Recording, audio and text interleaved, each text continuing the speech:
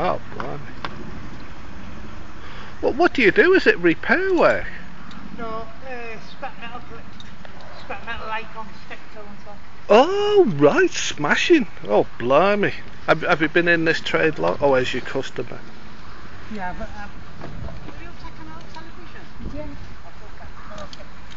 Yeah. Uh, I've got, been, been doing it since I've been about 10 years old.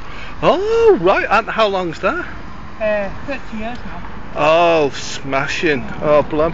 I, I, I'm not being offensive again, but I thought mostly travellers did this type of thing. I am a traveller. Oh, I didn't realise. So, sorry, you, you don't look like one. What I mean is, it's they don't usually have health and safety things No, on. it keeps you warm, that's the main thing. Oh, right. I thought you were some sort of official type No. thing. What? What's the horse's name? Molly, Hello, Molly.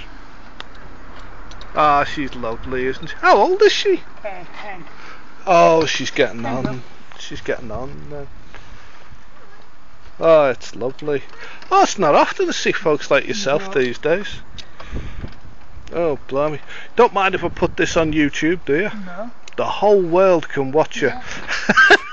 the whole whole world can watch you. What's the most common metal you get now for scrap Uh, metal? It is mainly scrap metal that you get. Oh, yeah, but is it aluminium or? Uh, mainly just scrap. scrap. Odd times you do get uh, alley or stain. Oh yeah, yeah.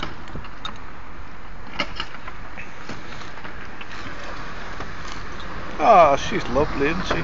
Hello, Molly. Just go anywhere on there will do. Ah, she's lovely. Oh, Okay, thanks a lot.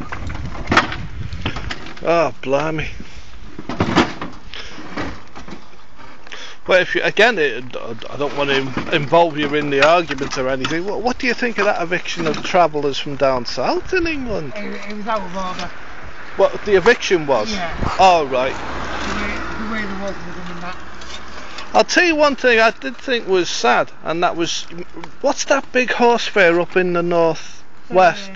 Um, Is it- Yeah, there was a horse that drowned there in the dipping ceremony when they Yeah. dripped it, and it was in the headlines and it was all in the news, and they were saying the, the gypsies should stop doing it.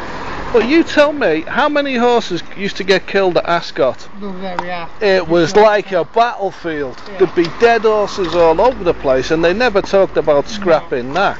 To go. It's double standards. I think sh- Yeah. I've took up enough of your time, sir.